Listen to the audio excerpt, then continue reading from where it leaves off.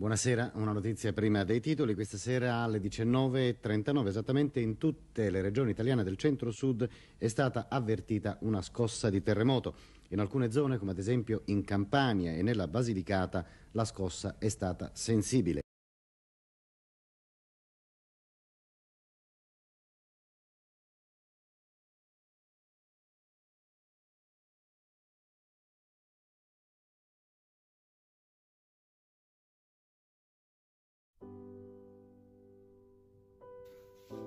La sera del 23 novembre io ero con i miei genitori a, a, casa, mia mamma stava preparando la cena, io ero con mio padre a guardare la televisione.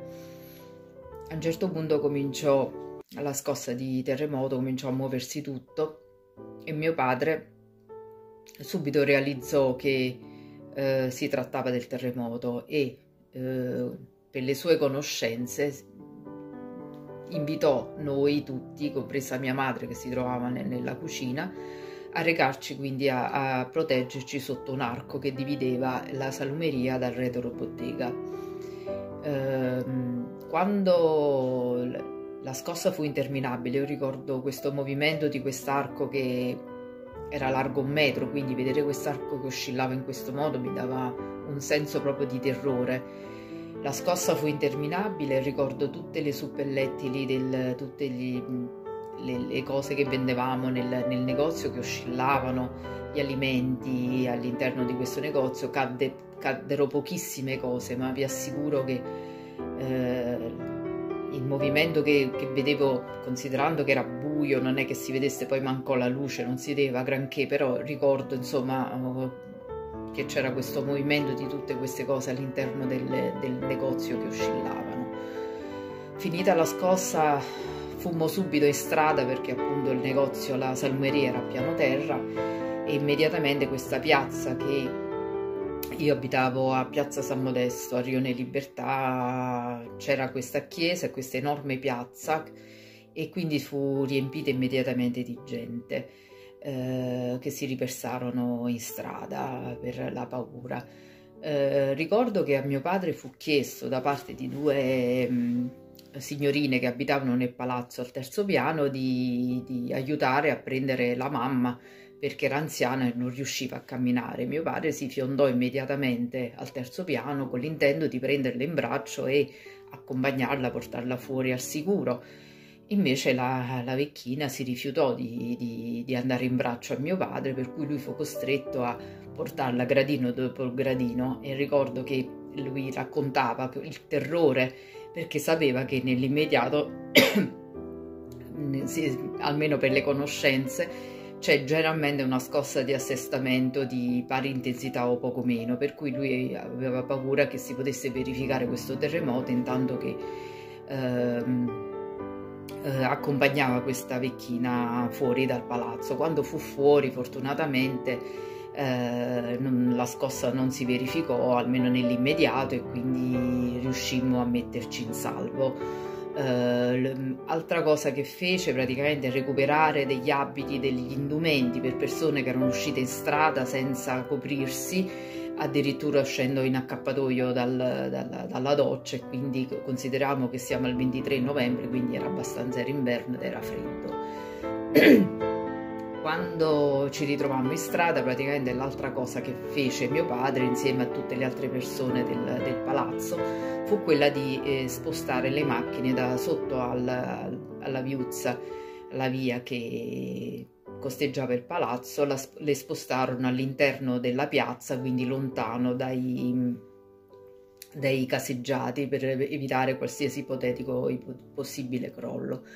e le macchine furono praticamente il luogo dove noi dormimmo per giorni perché in casa non ci rimettemmo piede a lungo. I miei genitori furono costretti eh, a rientrare nella,